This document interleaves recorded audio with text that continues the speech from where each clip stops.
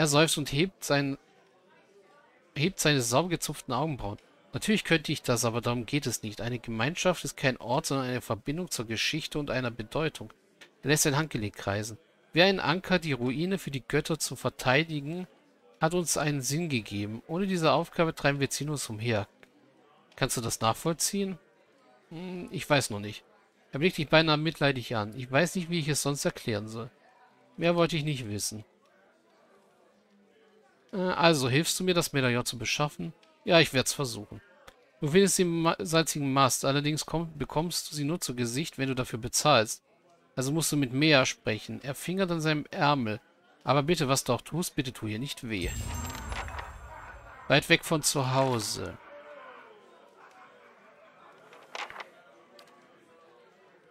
Ich bin im Gasthaus vom Farnheim einem jungen Lafantam namens Tristan begegnet. Er und seine und eine Prostituierte namens Cyril haben gemeinsam reiche Adlige ausgenommen, bis sie in den Besitz eines invitation Medaillons gelangte. Nun will sie das Medaillon verkaufen, aber er will damit seinen Clan helfen. Cyril hat das invitation Medaillon, aber sie wird sich nicht davon trennen wollen. Sie ist Prostituierte im salzigen Mast, einem Bordell in, ha in Ondras Geschenk.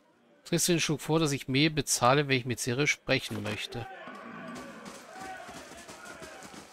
So, wen haben wir hier alles noch? Also Nonton und Ingroed. Und der Tüch Tüchtig Herz Gerion. Hallo Nonton erstmal. Ich muss doch sehr... Oh, du bist es. Es freut mich, dich der guter Gesundheit zu sehen. Wir hatten hier ein paar schwierige Tage, aber dann hat es uns hin wir hatten hier ein paar schwierige Tage, aber dann hat es uns hierher verschlagen. Und sie waren so gütig, uns beide anzuhören.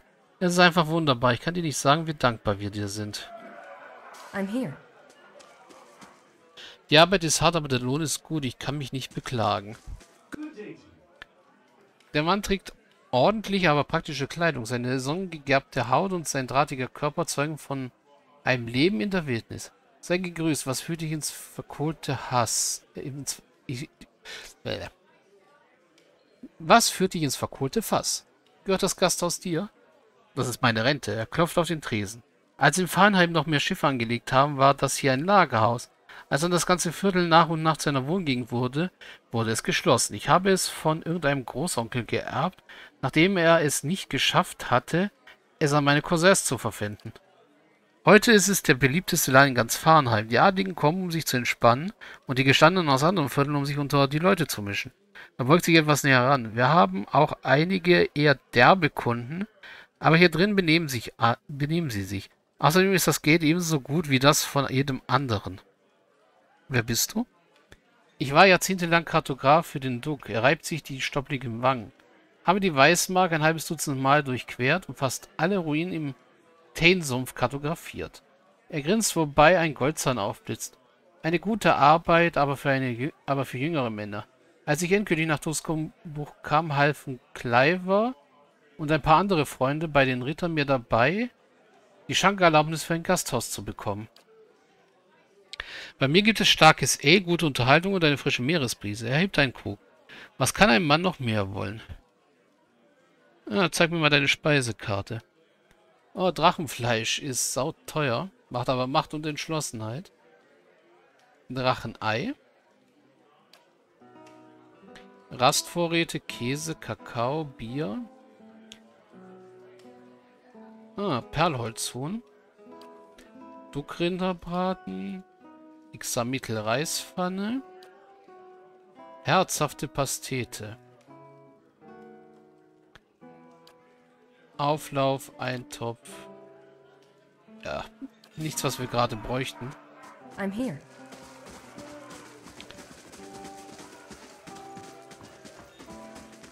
Bitte tra trag keinen Schmutz in meine Küche. Die Gäste hier sind sehr heikel.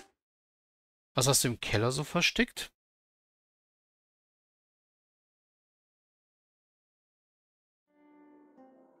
Oh. Äh, Banditen?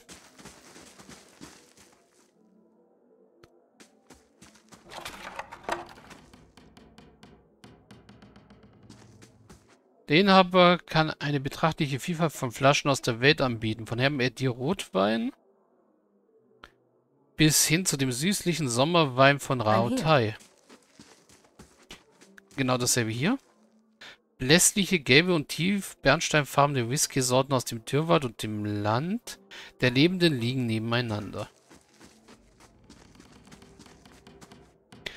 Fläschchen mit des berüchtigten Seelenbrenners vom Todesfeuer-Archipel schmiegen sich an kristallklare Nasitaki und Glamfellenschnäpse. Ich plaudere nur ein wenig mit meinen Partnern. Äh, auch wenn die Dunritstraße gleich um die Ecke liegt, stellen die Leute hier nicht wirklich viele Fragen. Für gewöhnlich ist es hier unten recht ruhig. Das gefällt dem Chef daran. Yes. Gut.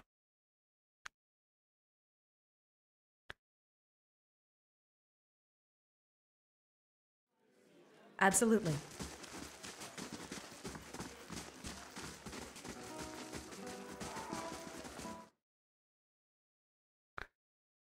Gucken wir als nächstes, was hier oben ist.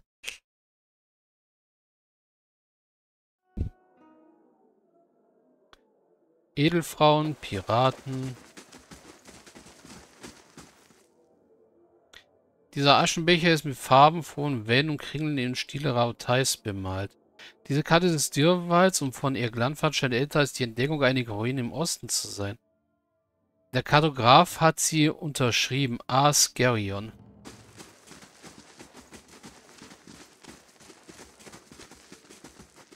Merwith. Merwith beobachtet dich durch schwarz umrandete Augen. Sie legt eine Hand auf den Knauf ihrer Klinge. Die Edelsteine, die von ihrem Handgelenk bauen, klimpern. Wir kennen einander nicht. Belassen wir es dabei. Du scheinst nicht aus Farnheim zu stammen. Ich bin Seefahrerin. Sie lächelt dich schief an. Und? Befreierin bestimmter Waren. Merwith spielt an ihrem großen Ohrring herum. Und das Schöne an den Schnöseln hier, meistens sind sie zu höflich, um mehr zu verlangen. Was für dich ins verkohlte Flass? Was? Ja, wie steht deine Augenbraue? Nach was sieht es denn aus? Guter Wein und ein wenig Frieden und Ruhe. Sie stimmt mit dem Daumen eine Kupfermünze in die Luft. Und Skerion stellt nicht zu viele Fragen. Dann gehe ich mal besser. Diese Karte zeigt Routen durch die Weißmark. Mhm. Oh, hier liegen einfach Silberlusken rum. Ein aus weißem Ton gefertigter Xamittel-Wasserkrug.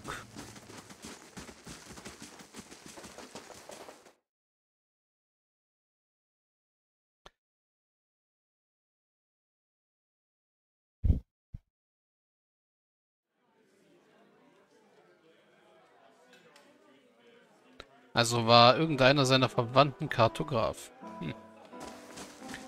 Gut, nächste Haltestelle ist die Dunrütstraße mal,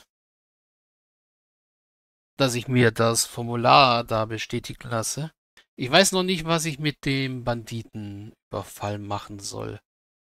Ich glaube, das letzte Mal habe ich es einfach hier direkt bei Raymond gemeldet. Nachdem ich nach einer Schlägerei im Haus von denen hier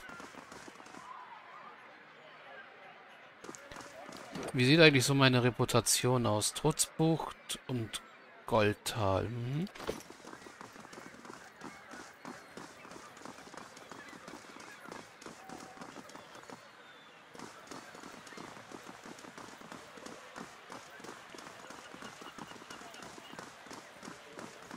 Also ab in Haus Hardred. Mit Lady Webb werden wir wahrscheinlich erstmal nicht reden können.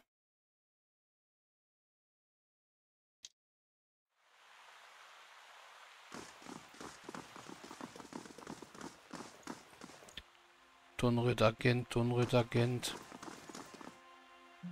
Kurm vergeudet seine Zeit mit diesen vermissten Fällen. Eine Verbindung, ja, ich bin ganz sicher. Ja, und das sind alles nur Dunrit-Agenten. Diese Karte zeigt die Umgebung von Trutzbucht. Strategische Zugangspunkte der Stadt sind mit Flaggen markiert. Die Schriftrollen wurden dicht an dicht in das Regal gezwängt. Jede Schriftrolle wurde außen ein Name geschrieben. Gods keep you. Der ist umgeben von Büchern und Schriftrollen. Seine Haare stehen fast zu Berge und er spitzt die Ohren, dass du dich näherst. Du bist vom Flüstern umgeben. Ketnua, Goldtal, wahrlich alte Stimmen. Woher weißt du das? Der Oleaner grinst, deine Zähne sind spitz wie Dolche. Als Medium ist es meine Aufgabe, so etwas zu wissen. Du trägst den Geruch der Alten mit dir. Mir ist nicht wohl bei dem Gedanken, dass du mich durchleuchtest. Was kannst du mir sonst noch sagen? Seine Ohren senken sich nach unten. Nicht so viel, wie ich gerne würde. Meine Pflichten Lady Webb gegenüber zwingen mich, meine Gaben anderweitig einzusetzen. Er blickt auf einen Tisch voller Schriftrollen. Was führt dich zur Dünrothstraße? Ja. Mir scheint, du könntest Hilfe gebrauchen. Kurum winkt mit einem krallenbesetzten Finger ab. Ich fürchte, ich darf nicht über meine Arbeit sprechen. Nur für Dünrothstraße holen. Ein Zivilist müsste das Vertrauen von Lady Webb genießen, damit ich ihn mit ihm, damit ich ihn mit ihm darüber sprechen darf. Wahrscheinlich damit ich mit ihm darüber sprechen darf, dass ihn ist da reingeflutscht. Woran arbeitest du? Seine kleinen, kleinen pelzigen Hände deuten auf die Papiere vor ihm. Wohlgeburten, wachsende Unruhen und die üblichen politischen Intrigen. Bei so vielen vermissten Seelen sind vermisste Menschen zurzeit unsere geringste Sorge. Erzähl mir mehr über deine Fähigkeiten. Ich suche nach Seelenverbindungen. Nach verlorenen Dingen, verschwundenen Dingen, beunruhigenden Dingen. Besonders wenn mächtige oder einflussreiche Menschen beteiligt sind. Ich bin ein Medium. In ihr Glanfahrt waren wir einst als Brisch Brischalgewinn bekannt. Verstandsjäger. Ein schöner Titel, ja. Doch erst als die Beseeler vor 40 Jahren anfingen, mit unseresgleichen zu arbeiten, erkannten wir unsere wahre Macht. Also gehören wir zu den besten Detektiven der Welt. Indem wir Seen durchleuchten, sehen wir, ob wir, wo ihre Besitzer überall waren. Oder wir blicken eine Waffe an und sehen, wer sie berührt hat. Seine Nase zuckt, als er dich anblickt. Äußerst nützlich, um Verbrechen zu lösen, wie du dir denken kannst. Ja, ihm die eine staatliche, eidesstaatliche Versicherung zeigen. Ist diese eidesstaatliche Versicherung echt? Du hast sie unterzeichnet. Er hält die Seite, scheint jedoch durch die Worte hindurchzustanden, als wäre etwas in das Papier eingewehrt. Äh, Koren lässt seine spitzen Zähne aufblitzen. Ich erinnere mich an Penhelm. Ein eitler V von einem Mann, sein Mund trocken und seine Hände feucht, als ich ihm sagte, er sei ein Sehennachkomme eines ätherischen Generals. Eines Generals, der gegen Hatres Rebellion kämpfte. Er überfliegt die eidesstattliche Versicherung. Eine Fälschung, und zwar nicht die erste, die ich gesehen habe, gibt sie dir zurück. Aber ich habe keine Zeit für die Ritter und ihre Besessenheit. Bring das seinem Kommandanten Cliver und zeig ihm das Siegel. Er deutet auf das Wachsiegel neben seiner gefälschten Unterschrift. Wenn er es mit einem anderen vergleicht, wird er den Unterschied sehen. Alofs Blick zuscht zu dir. Ein Mann für die Seele verdammen, welche die Götter ihm gegeben haben. Das scheint mir ungerecht. Dann lebt wohl. Mhm. Ja, ich kann mich noch im Erdgeschoss umsehen, aber ich glaube, hoch brauche ich erstmal nicht gehen. Entweder sind die Notizen in meinem Geheimcode gehalten, aber der, aber der Autor hatte eine wahre Sauklaue von Handschrift. Eine Reihe von Notizen spekuliert über die Identität und den Aufenthaltsort einer Geheimsekte in Trutzbucht. Ja, der bleierne Schlüssel.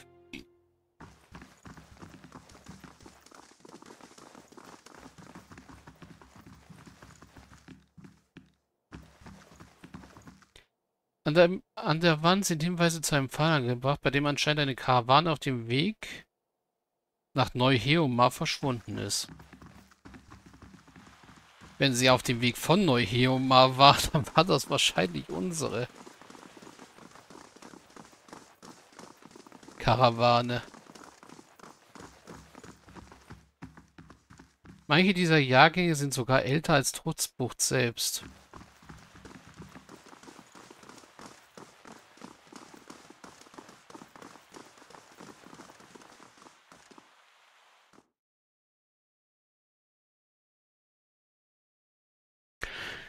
Gehen wir doch mal hoch kurz.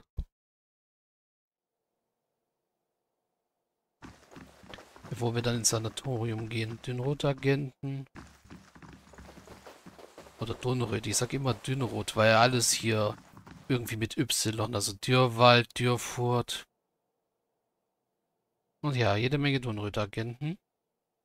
Auf diesem Brett wurden Bilder mit allerlei Angelegenheiten des Volkes zusammen mit Notizen in einer unerleslichen Kurzschrift geheftet. Mhm. Passende Schlüssel benötigt zum Öffnen. Hier sind auch nur Agenten.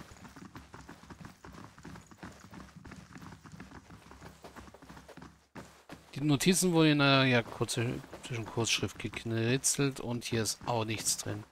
Und wie gesagt, klauen werden wir nicht als Paladin.